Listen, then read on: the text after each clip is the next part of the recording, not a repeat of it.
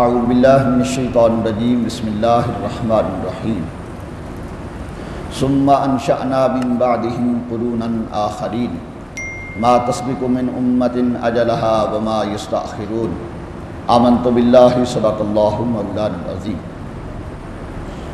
सुर मोमिनून की आयत नंबर बयालीस और तिरतालीस दो आयात मुबारक की तिलावत की गई इससे पहले हज़रत हूद सलाम जिस कौम की तरफ़ महूस किए गए, उस कौम का ज़िक्र किया गया और उनकी ख़राबियों को बयान किया गया कि एक तो आखिरत के मुनकर थे, आखिरत को नहीं मानते थे कि मरने के बाद हमने अल्लाह की बारगाह में दोबारा उठना है और अपने किए का जवाबदेह होना है।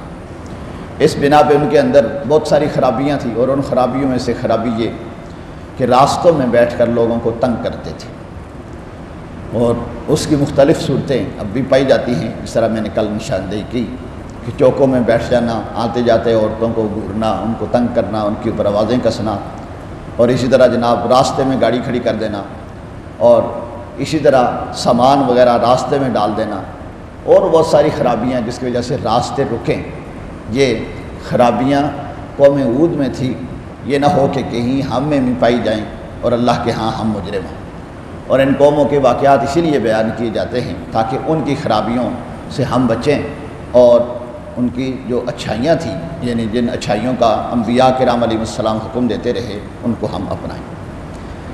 अल्लाह ताला ने शाह फरमाया सुम्बा अनशाना मबाद कुरून आखरीन। फिर इनके बाद हमने और कौमें भी पैदा की, यानी कौमें आद के बाद और कौमें भी पैदा हुई, जिनमें हज़रत शुआब सलाम की कौम थी। और दूसरी कौमें शाह मा तस्बिक मिन उम्मतिन अजलहा वमा युस्ताखिर। कोई उम्मत अपने में आज से ना पहले जाएगी, ना ना पीछे रही। मतलब ये है कि मुख्तलिफ़ ज़मानों में मुख्तलिफ़ कौमें आईं और उनके अंदर मुख्तलिफ़ किस्म की ख़राबियाँ थीं।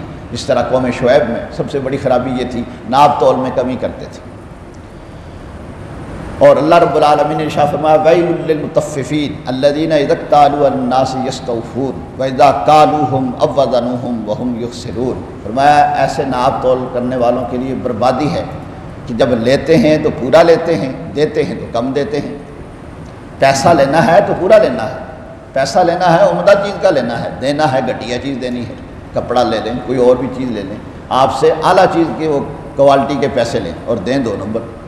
तो ये खराबी उस कौम में भी पाई जाती थी। तो हमें इन कौमों के से इबरत हासिल करनी है। इसी तरह उसके बाद कौम लूर का ज़िक्र है और दूसरी कौमों का ज़िक्र है जिनके अंदर बहुत सारी बुरी खराबियाँ पाई जाती थी, जो इंसानियत की तजलील का बायस थी। तो अल्लाह ने शाह फरमाया कि जब वक्त मुकर्रा आया उनका तो ना वो वक्त पीछे रहा, ना आगे। एन वक्त पे अल्लाह का अजाब आया। इज़ा जा अजर ला युस्ताखिरून सातम वला युस्तकदमून।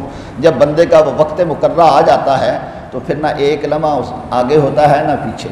और फिर इंसान उस वक़्त तमन्ना करता है, लौला अखरतनी इला अजलिन करीबिन फ़सद्दा कवाकुम सालहीन। अल्लाह थोड़ी सी मोलो दे दे। मैं अब सच बोलूँगा, मैं नेक बन जाऊँगा। लेकिन फरमाया वलैखिर अल्लाह नफसन इज़ा जा अजलहा। अब जब वो वक्त आ जाता है तो फिर जब अल्लाह किसी, फिर अल्लाह किसी को मोहलत नहीं देता। तो अल्लाह ने जो अभी मोहलत दी हुई है, ये हमें संवरने के लिए है। हम अपने आप को संवारें और दूसरों के हकूक़ की पासदारी रखें। अल्लाह रब्बुल हमें एक दूसरे के हकूक़ की पासदारी करने की तोफ़ी नसीब फरमाए। व आखिर दावाना अनिलहमदिल्ला